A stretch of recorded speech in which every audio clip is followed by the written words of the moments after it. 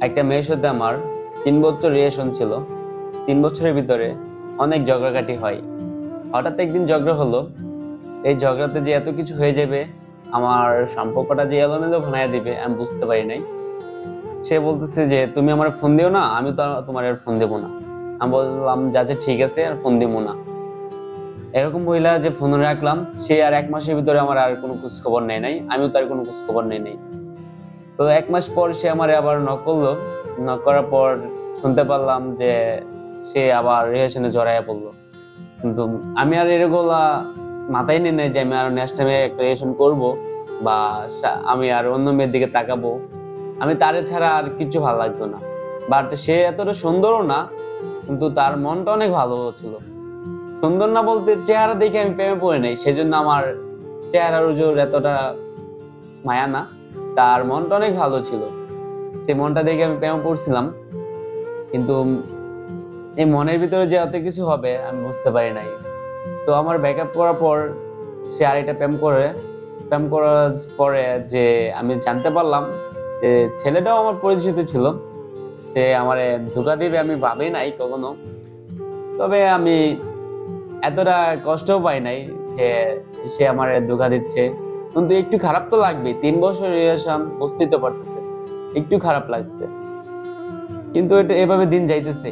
কিন্তু মাঝে ও আমার এবার নক করে কথা বলি, কিন্তু সে আমার কোন যে একটা শান্তি না দেব, সেই সান্ত্বনা সে আমার দেয় না।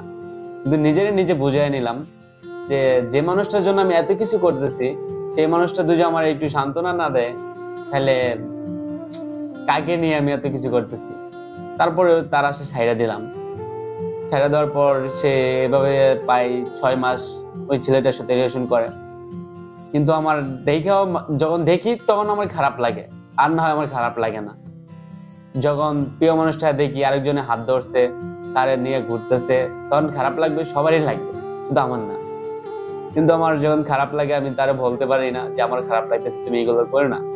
এটা তো আমার অধিকার নাই, সেজন্য আর বলতে পারি না। সে আমার একটু অবহেলা করতেছে।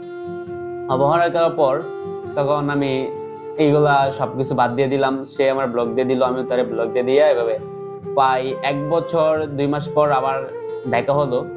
দেখা হওয়ার পর শুনলাম সে নাকি তারে ওর ওই ছেলে তারে নাকি ওই ছেলে তারে নাকি ছেঁকা দিছে। ছেঁকা দেওয়ার পর ওই ছেলে যখন ছেঁকা দিছে তখন তো ওর মনটা আমার মতো হয়ে গেছে। তখন আমি ফ্রি হয়ে গেছি, ভালো হয়ে গেছি। আমিও তার আর এতটা মনে নাই। তবে এক বছর দুই মাস পর যখন দেখা হলো, তার হাতটা ধরার অনেক ইচ্ছে হয়েছিল। না পারতেছি বলতে, না পারতেছি কিছু ধরতে। ধরাও তো সাহস আমার হচ্ছে না। এমনি তার সাথে আগে যখন রিলেশন ছিল, তখন তার হাতটা ধরমু, তার সামনে যে কথা বলমু, সেই সাহসটা আমার একটু কম ছিল। আমি কোনো সময় এগুলো করি নাই। ভালোবাসা কি জিনিস এটাই বুঝতাম না। ফার্স্ট সে মেয়েটা আমার কাছে ছিল। ফার্স্ট তার সাথে আমি রিলেশন করি। কিন্তু সে যে আমার সাথে এমন কিছু করবে, তবে সে আমার অনেক ভালোবাসতো, আমি জানতাম। কিন্তু জানি না কি মাঝখানে কি হইল। তবে ব্যাটার পাইলে তো সবাই চেঞ্জ করতে চায়। জানি না আমার থেকে হয়তো এই ছেলেটা ভালো ছিল, সেজন্য হয়তো সে সম্পর্ক জড়াই গেছিল। তো আল্লাহ এই ঝাড়ে যেরকম ভাবে রাখে, ভালো থাকে। তবে আল্লাহ আমার কপালে হয়তো ভালো লেগছিল। এখন আমি অনেক হ্যাপি আছি। কিন্তু সে আবার তো কষ্ট পালো। কষ্ট পাইছে, আমার যে কষ্টটা সে পাইছে, আল্লাহ কাউরে ছাড় দেয় না, ঠিক আছে? তখন তারে আমার যখন দেখা হয়েছিল তখন হাত ধরার অনেক ইচ্ছে হয়েছিল বলতে পারতেছি না। প্রায় দু মিনিট কথা বলছিলাম, বেশি না, দুই মিনিট তার সাথে কথা বলছি। বলছিলাম, চলো একটা রেস্টুরেন্টে বসি, সে মানা করতেছে, বসবে না। তখন সে চলে গেছে। চলে যাওয়ার পর আবার আমি দোকানে চলে আসলাম, আমি একটা জব করি। আমি দোকানে চলে আসার পর তখন সে আবার ফোন দিলাম তারে। যে বললাম, কি, চলে যাচ্ছ? হ্যাঁ গাড়িতে উঠে পড়ছি, চলে যাচ্ছি। আমি আচ্ছা ঠিক আছে। তখন আমি আমার মনের কথাটা বললাম যে, তোমার হাতটা ধরার অনেক ইচ্ছা হয়েছিল। তোমাকে হাতটা ধরার অনেক ইচ্ছে ছিল কিন্তু সে মানে বলতেছে যে, এখন তো আর বললে লাভ নাই, আর আগের অধিকারটা তো আপনার নাই, সেটা বলতেছে। তখন সে চলে গেছে, আমি ফোন রেখে দিছি, আমার মন খারাপ। এভাবে আমার যে তার সাথে ব্যাকআপ হইলব আমি কখনো ভাবতে পারি নাই। তবে প্রিয় মানুষটা হারানো যন্ত্রণাটা আমি বুঝতে পারি। তবে তারে যে আমি এত ভালোবাসছি, এটা আমি কখনো বলে বুঝাইতে পারব না। সে আমার চেহারা এতটা সুন্দর না, চেহারা সুন্দর না হলেও তার মনটা অনেক সুন্দর ছিল। সেই মনটা যে নষ্ট হয়ে গেছে, এত অবহেলা, তার ভিতরে যে একটা হিংসা, এই হিংসাটা আমি চাইছিলাম তার দূর করে দিতে। তবে সেই হিংসাটা আমি দূর করতে পারি নাই। চাইছিলাম মানুষটারে আবার ভালো করব। আমি আবার যে একটা থেকে আরেকটা ধর্ম, এরকম আমার অভ্যাস নাই। একটা মেয়ের নিয়ে চাইছিলাম আমি সবকিছু করব। যে আমি ভাবতাম সে আমার জীবনে অনেক কিছু। তার ছাড়া আমি বাঁচবো না, এই সেই আমার ফ্যামিলি আছে। ফ্যামিলি পর্যন্ত আমি সময় দিই নাই, তারে আমি অনেক সময় দিতাম। আমার ফ্যামিলি পর্যন্ত সময় দিতাম না।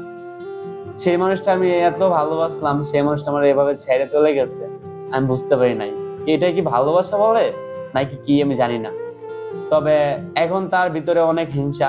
সে এখন বলে আর করবে না। তো আমি, ভালো লাগল ওই কথাটা শুই না, যখন শুনলাম যে আর করবে না।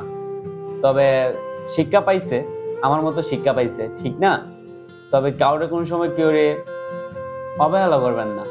যে হয়তো আপনি নিচে থাকতে পারে, উপরে থাকতে পারে, বড় হইতে পারে, ছোট হইতে পারে, কখনো অবহেলা করবেন না। ঠিক আছে? সবাই ভালো থাকবেন। আল্লাহ হাফেজ।